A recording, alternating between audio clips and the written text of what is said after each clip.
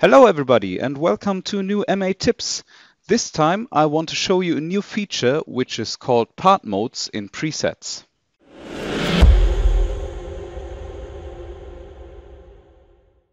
As you remember, the last time we talked about different programmer parts. So we could have different parts in our programmer and store them directly into different cue parts.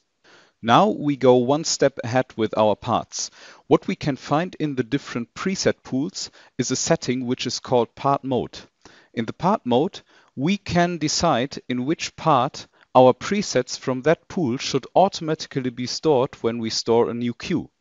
Let's have a look at an example. So for my position preset pool, I decide that I want to store the positions always in a part number one. Let's move to our color preset pool. And in the color preset pool, I can do the same.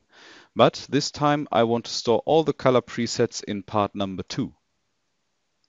Let's create a small look. So I'm using the spots, for example. We bring them to full.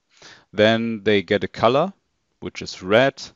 And I want to use a position preset, which is the middle. So now we store this directly in a new sequence.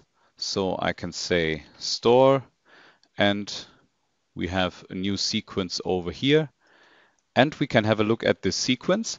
What you can see is that we created a cue number one.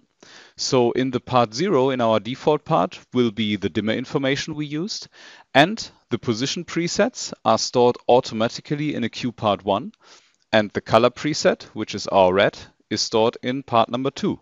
Please also keep in mind that of course you can do this for the all preset pools as well. So think about having different phases in your all preset pools and you know that all the dynamic attributes, so all your phases are always stored in a part number three in a cue. So this is a great feature to give some structure in your cues and to know where you can find which attributes later on. So please have a look at this and stay tuned and see you next time for the MA tips.